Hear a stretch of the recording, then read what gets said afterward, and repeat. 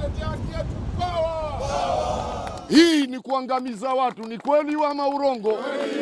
Vuguvugu la mabaharia wakongwe katika kaunti ya Mombasa hii leo wakiongozwa na Bwana Thabit Abeid katika bustani ya Mama Ngina wamelalamikia kubaguliwa kwa mabaharia wakongwe na mamlaka ya maswala ya baharini nchini KMA haswa katika nafasi za ajira na maswala mengine muhimu, huku wakitaka serikali kuingilia kati na kutatua swala hili. Mabaharia wazee katika nchi hii wamesauliwa, wa, haki zao zimevunjwa kupita mipaka.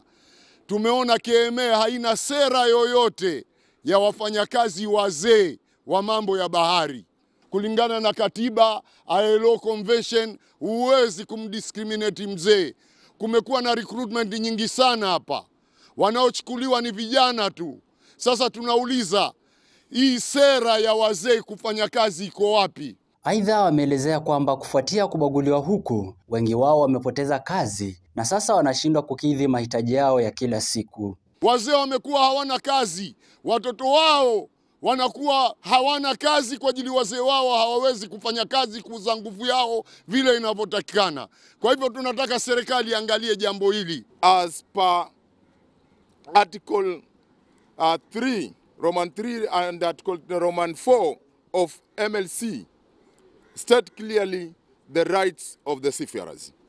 Tumesoma bandari, makaratasi tuko nayo, tumesoma hivyo vyeti, mapasipoti haya tuko nayo, vitu vyote hivi tunaangaziwa kwamba hatuna kazi, sisi ni wazee. Tunataka tumuulize Mama Nathi Karigisu na hiyo sekta ya mabaharia, ametutengea pesa za uzee kuanzia miaka hamsini, ametuwekea pesa zetu za retirement. Mabaharia hao vilevile wametoa mapendekezo kadhaa kwa serikali kuu, yakiwemo pendekezo la kuvunjwa kwa kamati ya mamlaka ya KMA, kusimamishwa kwa sheria zote za kuhusu mabaharia zilizoko bungeni na vilevile kuhamasisha umma kuhusu uchumi samawati. Kamati ambayo imeundwa ya Kenya Maritime Authority ama ile board ivunjiliwe mbali ili kutengenezwe kamati ambayo itahusisha mabaharia kikamilifu katika ile kamati. Jambo la pili ambalo tunaliangazia, sheria zote ambazo zimetungwa zisimamishwe, zile ambazo ziko katika bunge letu la kitaifa kama amendments ambazo zimeletwa na zile regulation, mpaka mabaharia watakapohusishwa katika kuleta maoni yao na vikao ambavyo viko.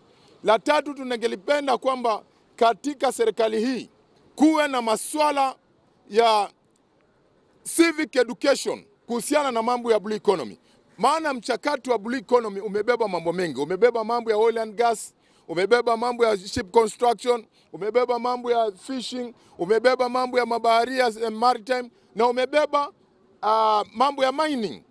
Mheshimiwa William Samuel Ruto tunampongeza kwa kuwachagua viongozi wa pwani ambao aliwaweka katika sekta hii, na viongozi wale tunawaomba wasilale, kwa sababu hapa KMA kuna watu wametuathiri sisi watu wengine hapa.